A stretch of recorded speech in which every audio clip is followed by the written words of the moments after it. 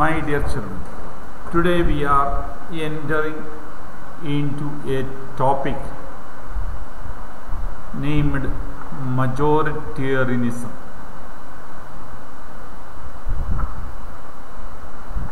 Means decision can be taken by majority. That is a basic idea of democracy.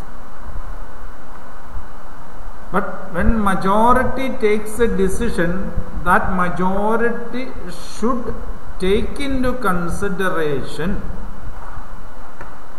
the problems or effects of their action on the minority. If that is not taken into consideration, there can have frictions and problems. You know, an young child cries at home. If the mother doesn't respond or any member in the family doesn't respond to the cries of the child,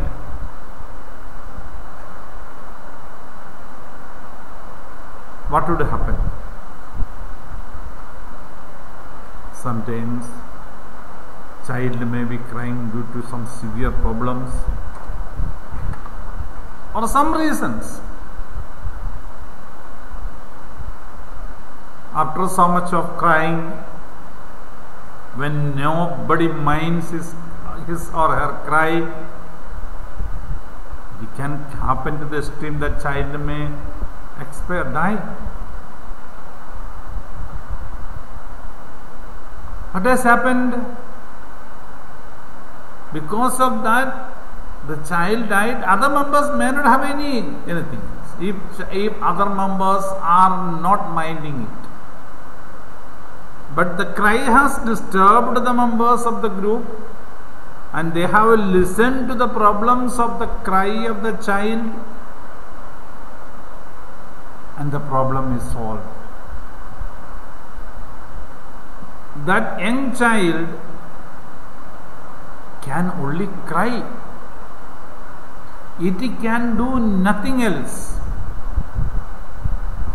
The members of the society take care of the child and see that the child doesn't cry and disturb the society. The same is the situation with majority and minority.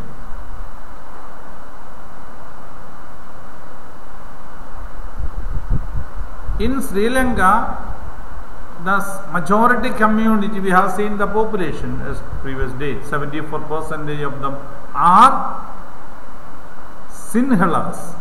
So naturally, they have got the right to decide anything and everything. Because democracy functions on majority.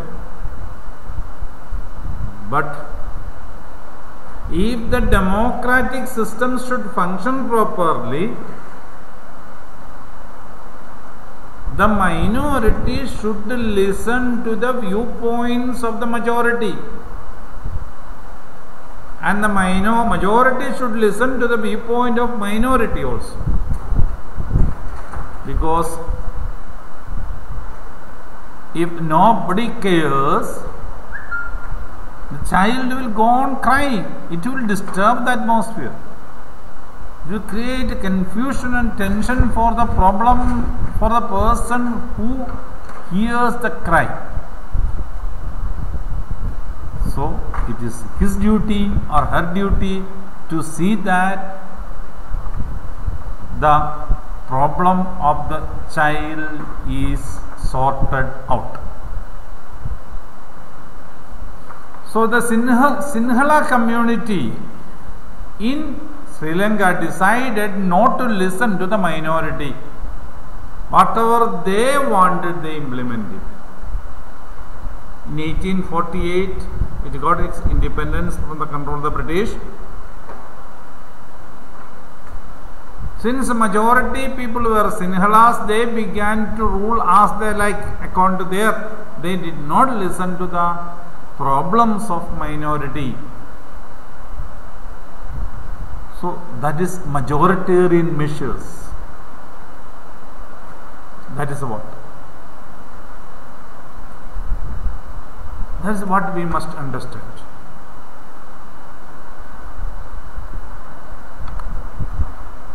In 1950s, an act was passed by recognized Sinhala as the only official language, thus disregarding Tamil. You know, there are there are some people who speak Tamil in uh, Sri Lanka.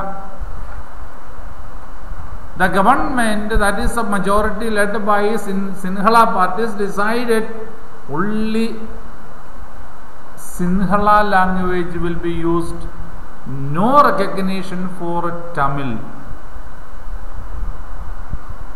You think about India at that moment. We have got multiple languages that you must understand. So they have mainly two languages, Sinhala and Tamil. The government did not listen or mind the problems of uh, Sinhala, uh, sorry, Tamil language people, those who spoke Tamil. What did the Sinhala government do or Sri Lankan government do? It gave preferential policies that favored Sinhala applicants for university positions and government jobs. Only those who can speak and understand or uh, know Sinhala only will get job. Others will not get job. Think what would be the response and reaction to the people who know only Tamil? They have no chance of getting, getting any government jobs. They have no chance of getting a university education in uh, Sri Lanka. So there was a friction and disagreement. A new constitution stipulates that the state shall protect and foster Buddhism, the official religion of uh, Sri Lanka was accepted Buddhism. So no other religion, Hinduism, Islamic religion, Christianity, or any other religion other than Buddhism was not accepted in uh, Sri Lanka. See the governmental thinkings or the Sinhala government's reaction. All these government measures coming one after other gradually increase the feeling of alienation among the Sri Lankan Tamils. So you are living in a country and you say that your language, your thinkings, your ideology is not accepted. You are not a member of the group.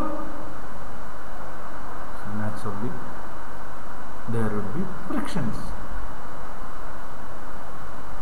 They felt that none of the major political parties led by Buddhist Sinhala leaders was sensitive to their language and culture. The, Sinhala leaders were not at all minding the people who spoke Tamil language and who spoke, behaved or accepted any other religion. So there was a problem. So there was a friction and disagreement and uh, problems between these two communities. Communities strained over time between the Sinhalas and the Tamil. That is the main main group. This is what we must understand. So naturally, when you are requesting something, somebody is not listening to you, there will be anger in your mind. So you try to get the support of the members who are ready with you. And that thing has happened in Sri Lanka and it lead into a civil war in Sri Lanka. See the difference. India got independence in 1947, Sri Lanka got in 1948. India accommodated all languages, all religions and we could survive. Don't think that when we accept and uh, agree with other regions and other languages, there is no problem. There are problems. But we agree people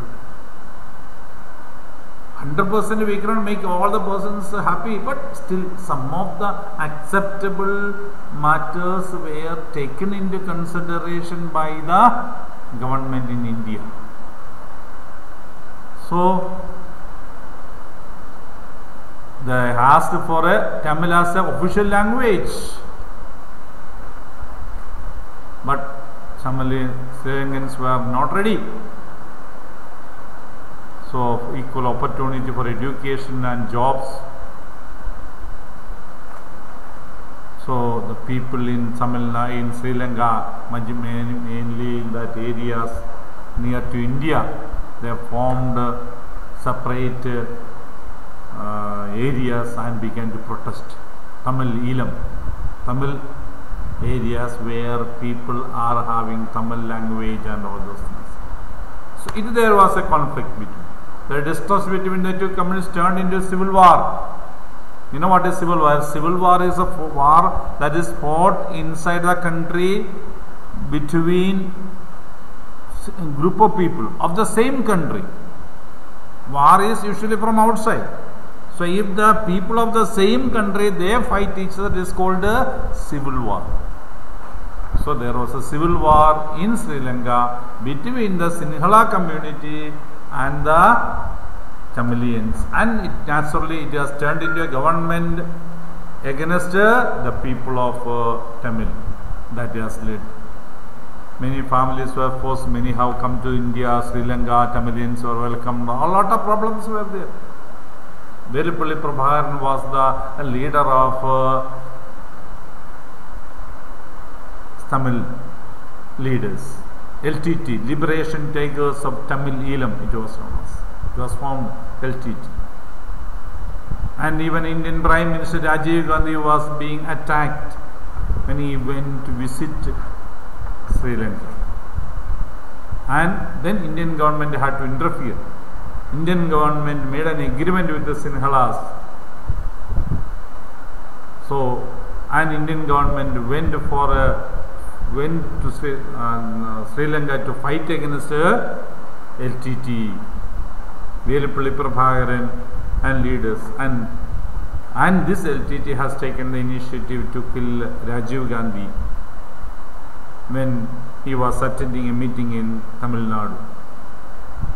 That is what this report speaks. Rajiv Gandhi was assassinated by LTT members because they were unhappy with the decisions or support of uh, Indian government to Sri Lanka. And the problems were sorted out, but LTT was not ready to accept it, so there was a frictions. So this is a situation. Now Sri Lanka is economic developments were there, but the all these things came to an end in 2009. Sri Lanka has accepted Sri Tamil language. Velupillai Prabhakaran was uh, assassinated, killed by the Sri Lankan forces. All those things, horrible sufferings were for the people of uh, Sri Lanka, mainly the Tamilians. Horrible sufferings they had. Now there is a peace in the in Sri Lanka. After all sort of, uh, but you see there was a reason of fight, which would not have taken place. That is uh, what we must understand. Now we will go to another country that is Belgium, which your introduction was there, where the situation was around more than this, worse than this situation. You see what has happened. What did the people in Belgium do so that they could have a comfortable and good life in Belgium? See the differences of uh, steps taken by the people of Belgium and Sri Lanka. Here you see, the Belgian leaders took a different path than Sri Lanka. They recognized the existence of regional differences and cultural diversities. See, the Belgian people understood there are languages speaking, French language speaking, Dutch language speaking, German language speaking, A lot of differences were there. So all those differences, they accepted and agreed. There is difference. We should live it together. The people in Belgium should be happy. That is what they did. They amended their constitution in between se- 1970s to 1933. Four times they amended. And why did they amend? They amended to live it together within the same country. Adjust with other person, accept other person, bring him into that. He is also my partner, my member. So we all should live together. You are a very strong person, but if a child comes and gives a small pinch to you, you will be affected by that pinch. It may not hurt you so much, but a small. Instead of that, if you mind the problems of the child, the child may not hurt you. So listen to the problems of members of the society. That is what is done by Belgium people. So let us see what did they do. The constitution proclaims that the number of Dutch and French speaking ministers shall be equal in the central government. You know the population is not equal. 60, some 30, uh, 40 around it is. But the people of them, they have decided that uh, it should be equal. No majority, no equal number of ministers. So both the teams will have uh, no problems. Some special laws require the support of the majority members from each linguistic group. If some rules and regulations to be amended, and for that, both the linguistic group, each should have each member, each linguist. Even there is only one percentage people speak Ger- uh, German, but there are members from German language also taken. So no single community can make a decisions unilaterally. Every decision is taken in taking uh, by consulting with other members. It is not a decision by one individual. It is not a decision by one person. That is speciality of uh, in Germany. Many powers have been given to state government of those two regions country. There are regional governments are there, so it is given to the state governments region because in areas there are German speaking, sorry French speaking, Dutch speaking, everything is taken. The state governments are not subordinate to the central government. The state government cannot be dismissed by the central government. State governments are given their own powers, their own respect by the constitution itself. And Brussels, capital of Belgium, has got a separate government in which both the communities have equal representation. Means the city state, the capital city, you know capital city, 80 percentage people in capital city are French. That you must understand. But that both the people have come together. They have decided that the government will have equal representation from Germans, uh, from uh, French speaking and Dutch speaking. The French uh, speaking people accept equal representation in Brussels because the Dutch speaking community has accepted equal representation in the central government. In Brussels city, if we take the total population, French is not majority, but in Brussels they are in majority. So what they have done, the central government also equal representation in Brussels also equal representation for a French speaking as well as a Dutch speaking. Even they have taken into consideration the German speaking people, what's only one percentage. That one percentage of the German speaking people also they have taken into consideration. That is the speciality of uh, them. Apart from the central and the state, there is a third kind of government, the community government. Their own language people they elected. The Dutch, uh, French and German speaking. They elected a government. Means only Dutch speaking people will elect. Only German speaking people will elect. That is it. This government has the power of regional regarding cultural, educational, language related issues. That is it. See, again, I have seen the previous days, again, the slide to show you the difference. See, 60 percent of people are uh, Dutch, 40 percentage French. So, if they go by language, naturally Dutch will have majority decision. Anything they can take. Only one percentage people speak German, you must know that we have seen. But when it comes to majority all over Dutch, the uh, French speaking people are less in number. Only in Brussels they are majority. So overall situation is taken, any decision can be taken by the Dutch government, Dutch people. But they were ready to accommodate uh, the French people, uh, speaking people as well as German speaking people. That is the reason Brussels have become the capital of uh, European Union. And we think it may be so much complicated, but for the people it is okay, they are very happy. So when the European Union was formed, they have decided to make Brussels as the capital of European Union, headquarters of European Union. This is the reason. Because they were ready to adjust and accommodate with the different languages, different cultures.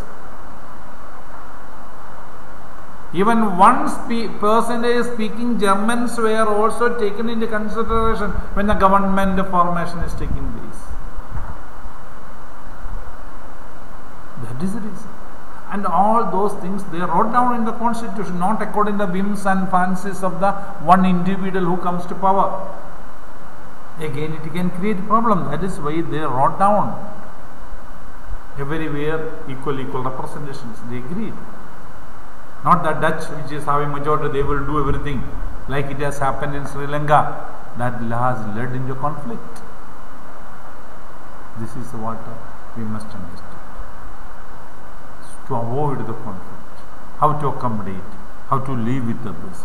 This is what we are going to study in this.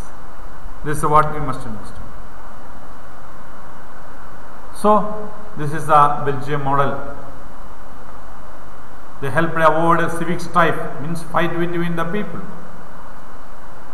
and a possible division. Then naturally there will be division. French speaking one division, German division, Germans will be ready to go back to German speaking areas. Dutch will be there, another one. So the, the Belgium country would have been divided.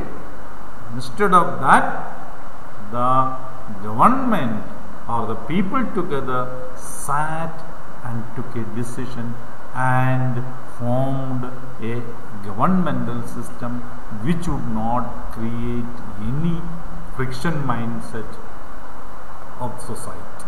That is what we must understand. So that is also changes would take place by this. Any government we must accommodate, adjust with others. That is what we must learn.